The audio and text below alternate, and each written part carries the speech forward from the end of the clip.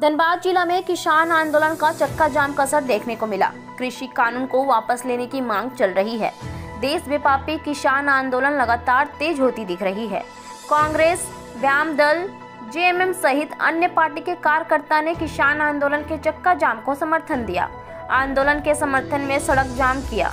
किसान संघर्ष मोर्चा के आह्वान पर 6 फरवरी को देश भर में चक्का जाम किया गया। इसी दरमियान धनबाद के कतरास राहुल चौक के समीप मकरशावादी समन्वय समिति के द्वारा चक्का जाम किया गया। इस चक्का जाम के दौरान मासस केंद्रीय सचिव हलधर महतो सहित पार्टी के कई नेता उपस्थित रहे। चक्का जाम के दौरान घंटों सड़क जाम से वाहनों की लंबी कतार लग गई। जाम को लेकर आंदोलनकारियों और आमजनों के बीच हल्की नोकझोंक भी देखने को मिली। बताते चले कि जाम को राजद, कांग्रेस, वाम दल, जेएमएम और बसपा ने समर्थन दिया था। रहने दो यार। ज़्यादा गर्मी दिखा रहा हूँ मार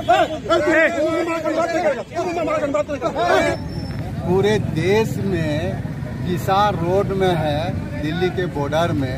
उसी का समर्थन में मार्क्सवादी समन्वय समिति आज हम लोग यहाँ पर चक्का जाम किए देश व्यापी चक्का जाम। मांग है कि किसान के विरोध में तीन गो जो काला कानून लाया है उसको वापस किया जाए। एमएसपी का गारंटी किया जाए।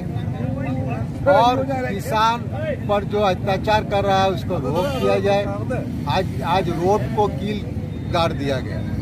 बॉर्डर में दिल्ली घुसने नहीं दिया गया।